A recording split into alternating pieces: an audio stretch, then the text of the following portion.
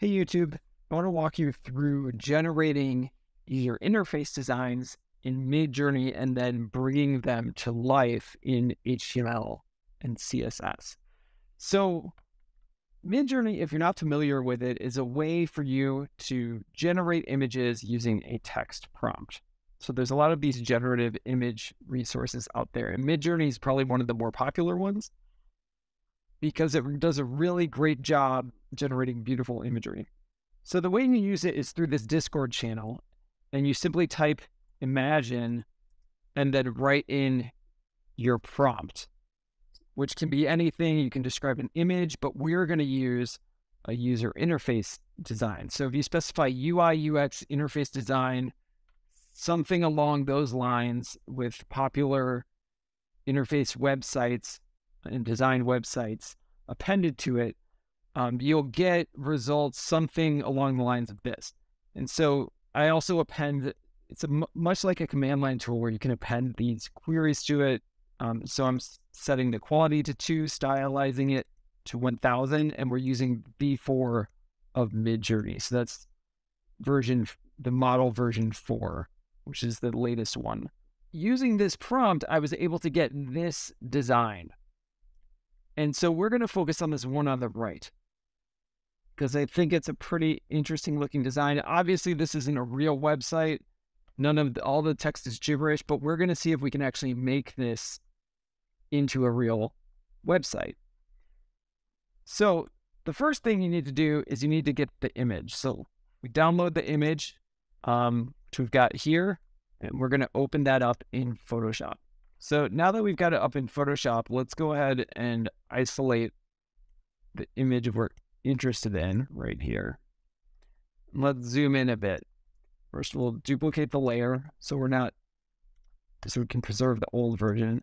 And we want to clean up this background image. So you can see there's this header with this big, beautiful looking background image here. We want to clean this up and then grow it out. So here's what I'm going to do. Go ahead and use the patch tool See, that's over here. And what this allows you to do is select these areas and just drag and clean them up. See, boom, gone. So you can do this to clean up all the little specks in the space here. If we get some something we don't want, just go ahead and continue to clean that up. I'm going to do that with the rest of this text too. Just so that we have a completely clean background image. and you can do big chunks as well because it's a nice gradient. It'll smooth that all out for you. So let's go ahead and do that. Everything here.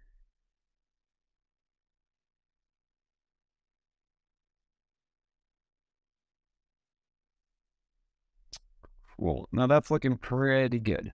So what I'm going to do next is content aware fill.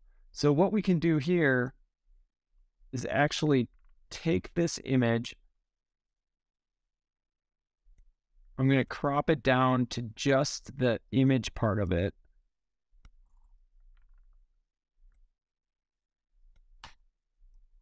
And then I'm going to do a selection. So I'm going to use the lasso tool to outline the area that I want to fill. Then I'm going to go to the menu item edit and select content aware fill. Normally the results are fine, so just hit apply and okay. Then I'm going to do it to the corners as well to fill those in. Now we're going to do some outpainting. So I'm going to open up the Stability Photoshop plugin and use DALL-E 2 to apply an image edit. So let's duplicate the layer and make sure we're on image edit. Type in our prompt and click generate. So this is going to outpaint contents of our image to fill the missing alpha channel. So here's our results. We can go ahead and pick one of those and place it you'll see it tiles perfectly with our existing image. So if we crop and move around our artboard here, we can outpaint a larger image. And here's an example of that. Next, we're going to use Illustrator. You can use Figma or whatever vector tool you prefer, but we're going to trace all the vector assets so that we can leverage those inside the application. So here I'm just going to recreate this button using a bunch of shapes and gradients. Um, again, kind of tracing all the other UI elements and icons within the application so we can use those within the website. So just exporting these as SVG to be included and also getting the shapes and sizes of the buttons for the UI.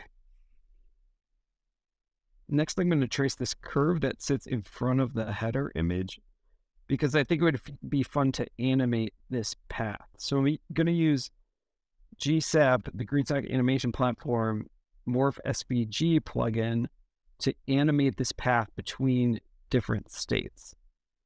So after we draw this one version of it that I traced, we're going to bring it into a new document and create multiple different versions of it that you can kind of see here, which we're going to have it animate between these different versions. So you save out the SVG from Illustrator or whatever application you're using and just bring it directly into your HTML inline. So this way we can reference the different SVG paths and elements. Then inside of our JavaScript, we're going to import GSAP and some of our plugins like Smooth Scroller so we get some nice easing on our scroll and our timeline animation that we're going to use for our Morph SVG plugin. So here we're just setting the path and then setting the different paths that we want this to transition between. And we're creating a timeline that loops back and forth with a yo-yo effect indefinitely. The rest of it's mostly just layout styling, um, using things like Flexbox and specifically Grid in this case for that table content section. And here you can see the end result. So we've got this nice easing on our scroll. We've got all the UI elements and our nice little animation of our curve on top of our header image. You'll notice there's also a slight delay with parallax on some of these elements, and that's another feature of the Scroll Smoother plugin for GSAP where you can add data attributes to them that adjust this value. So that's pretty much it. I hope you enjoyed it. Thanks for checking it out.